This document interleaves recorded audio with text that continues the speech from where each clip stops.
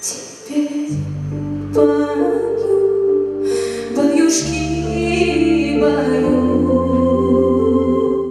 Обладательница Гран-при краевого вокального конкурса, лауреат московских и питерских фестивалей, победительница «Лазурной звезды», «Золотого руно» и «Территории успеха». В портфолио Ренаты десятки дипломов. В свои 16 вокалистка уже закончила музыкальную школу и оттачивает мастерство в студии в Новороссийске. Любовь к творчеству унаследовала от мамы художницы. Как говорит сама Рената, музыка – это ее путь. Петь старается во всех стилях и жанрах. На конкурс «Пою мое отечество» школьница подготовила технически сложную колыбель колыбельную. По словам солистки, трудно донести ее смысл до зрителя и не поддаться эмоциям. В каждой песне Рената видит неповторимую историю.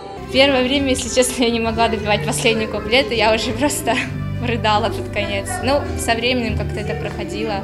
Иногда бывают моменты, когда я пою такую песню, я сначала пою, а потом могу ходить за кулисы и там вот это все доплакивать. В муниципальном этапе конкурса Рената завоевала первое место. Ежегодно конкурс «Пою мое отечество» проходит в рамках месячника оборонно-массовой и военно-патриотической работы. Участников отбирают в двух возрастных группах и нескольких номинациях. Данный проводится с целью военно-патриотического воспитания молодежи, а также выявления самых ярких и талантливых ребят нашего города, которые уже скоро представят Анапу на краевом уровне. Я желаю всем удачи и творческих побед. Это история нашего могучего государства. Это людские судьбы. Это жизнь нашего великого народа. И спасибо вам, что это славите, несете и передаете из поколения в поколение. Россия всегда была тем, что она славилась миром, патриотизмом и в случае необходимости военного лихолетия